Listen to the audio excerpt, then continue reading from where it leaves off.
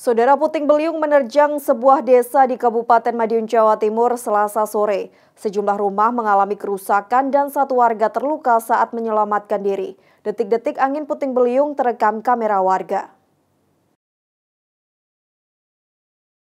Kamera milik warga merekam saat angin puting beliung mulai menerjang Dusun Karanganyar, Desa Pucang Rejo, Sawan, Kabupaten Madiun selasa sore. Dalam rekaman video, terdengar warga setempat begitu panik menyaksikan kejadian alam ini. Tidak lama kemudian, puting beliung berputar-putar menerjang dusun Karanganyar dari arah utara ke selatan. Akibatnya sejumlah rumah mengalami kerusakan parah pada bagian atap, bahkan pohon beringin di tepi jalan penghubung Madiun Magetan juga roboh.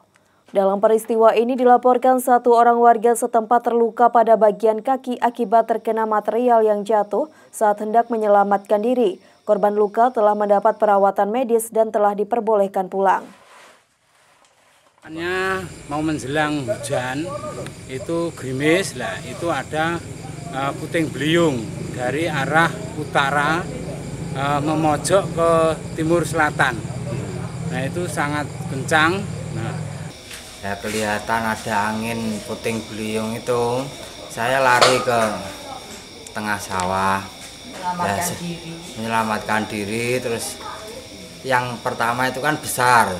Terus sudah lewat di badan saya. Terus jerit-jerit gitu terus saya kembali ke rumah lah ada angin lagi ternyata kejatuhan pohon pisang nggak tahu kaki ini kena seng apa asbes. Misalkan beberapa rumah kurang lebih ya lima rumah hmm. e, terlihat yang parah ini.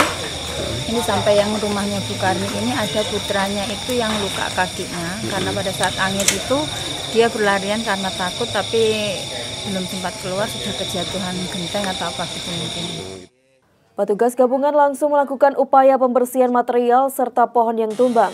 Jumlah pasti kerusakan masih dalam pendataan. Tim Liputan Kompas TV Madiun, Jawa Timur.